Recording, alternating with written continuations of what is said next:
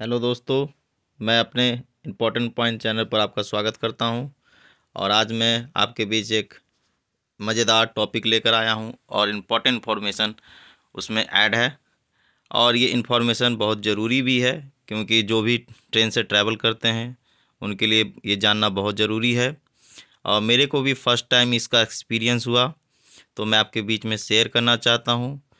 जैसे कि कभी आप किसी ट्रेन से ट्रैवल करते हैं और वो ट्रेन अगर कहीं स्टॉपेज उसकी अगर मेंशन है कि अगर फॉर एग्ज़ाम्पल कि वो लखनऊ में रुकेगी या कानपुर में रुकेगी और इस बीच में अगर कोई भी स्टेशन आता है और वहाँ पर अगर ट्रेन रुकी है और वो स्टेशन के आसपास है या उससे बाहर भी है तो आप ट्रेन से बाहर निकल जाते हैं और क्योंकि आपका स्टेशन नज़दीक होता है इससे आपको लगता है कि आप सुरक्षित घर जा सकते हैं। लेकिन आपके बीच में मैं ये बताना चाहूँगा कि ये जो आ, कल रात मेरे साथ भी ये घटना घटी तो मैं आपको शेयर कर रहा हूँ इस बारे में कि चेन पुलिंग से रिलेटेड ये बातें हैं रेलवे के अंदर। और चेन पुलिंग अगर आपने नहीं भी की है तभी आपको जुर्माना भरना पड़ सकता है। कब भरना पड़ सकता है? जब आप उस स्टेशन पर या उस बीच में कहीं उतर जाते हैं और पुलिस आपको पकड़ लेती है या देख लेती है तो आपके लिए वो फ़ाइन देना पड़ेगा या आपको जेल की सज़ा भी हो सकती है एक साल के लिए। तो मेरे साथ एक वाक्य हुआ कल कि मेरे को पता नहीं था इसके बारे में कि चेन पुलिंग जब होती है तो किसी भी यात्री को उस जगह पर नहीं उतरना चाहिए।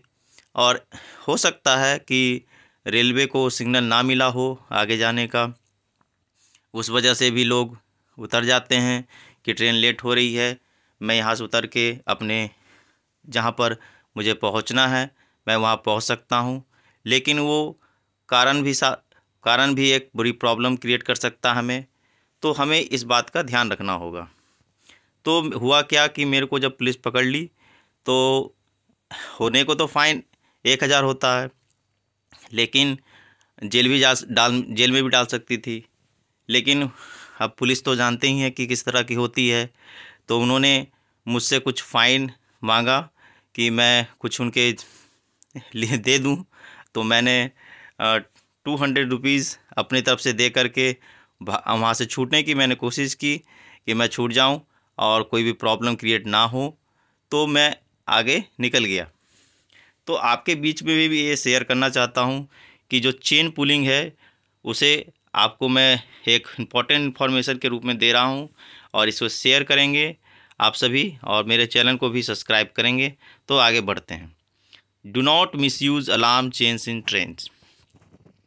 क्या लिखा हुआ है कि railway appeals to passenger passenger से अपील करता है रेलवे कि कभी भी आप अलार्म पुलिंग अलार्म चेन को अगर अवॉइड करते हैं तो आप, क्या है कि रीज़न उसका होना चाहिए कि आप क्यों, आपने चेन खींचा है इमरजेंसी सिचुएशन क्या है, वो आपको एग्जैक्टली exactly बताना होगा। अगर आप नहीं बताते हैं, उससे आपको प्रॉब्लम होगा, आपको फेस करना पड़ सकता है वो प्रॉब्लम अलार्म चेन जो प्रोवाइड की जाती है फिर पैसेंजर के लिए, वो सिक्योरिटी और सेफ्टी पर्पज़ के लिए होती है। तो ये अटेंड और ये अलार्म लोको पायलट तक पहुँचती है गार्ड तक पहुँचती है जिससे कि वो अट्रैक्टिव बनता है। जिससे कि वो हमें आ, रेल को रोक रोक देती है। तो जो पुलिंग आराम चेयर है वो किस सेक्शन के अंदर आता है? किसका केस वन फोर्ट वन के अंदर आता है। और ये केस जो है इंडियन रेलवे एक्ट 1989 के तहत होता है। जैसा कि मैंने बताया कि एक साल की जेल हो सकती है या एक हज़ार का जुर्माना देना पड़ सकता है, या दोनों केस हो सकते हैं आपके साथ। तो अलार्म चेन पुलिंग जो है, जिसे शॉर्ट में एसीपी कहते हैं, ये एक मेजर फैक्टर है जिससे ट्रेन डिले हो जाती है पूरे इंडिया में, और ये जो है, अफेक्ट करता है एक पार्टिकुलर ट्रेन को, जिससे कि आने वाले और भी ट्रेन्स जो है, उसमें प्रॉब्लम आती है। तो इस कारण से हमें जो चेन पुलिंग है, वो सोच समझ के करनी चाहिए। अगर किसी और ने की है और आप उस बीच उतरते हैं, क्योंकि रेलवे में बहुत सारे पैसेंजर चढ़ते हैं, लगभग बाईस लाख पैसेंजर डेली चढ़ते हैं, मेमू में या मेल एक्सप्रेस में, या जो भी ट्रेन है, उसमें ट्रैवल करते हैं। तो ये बात का हमें ध्यान रखना होगा। अगर आपके पास अगर कोई प्रॉब्लम है तो आप वन थ्री नाइन पर कॉल कर सकते हैं, या रेल मदद ऐप के द्वारा भी आप उसकी बातों को रख सकते हैं कि आपके साथ क्या इमरजेंसी है, क्या प्रॉब्लम है। तो ये बातों का आप ध्यान रखें, क्योंकि अगर ये जिन्हें भी नहीं पता होता चेन पुलिंग से रिलेटेड बातें तो आपको जाननी ज़रूरी है और इंपॉर्टेंट पॉइंट चैनल पर हर बार आपको एक नया टॉपिक देखने को मिलेगा, जो कि आपके लाइफ से रिलेटेड होगा और आपके लिए ही होगा। तो आप मेरे चैनल को सब्सक्राइब करें लाइक करें शेयर करें। Thank you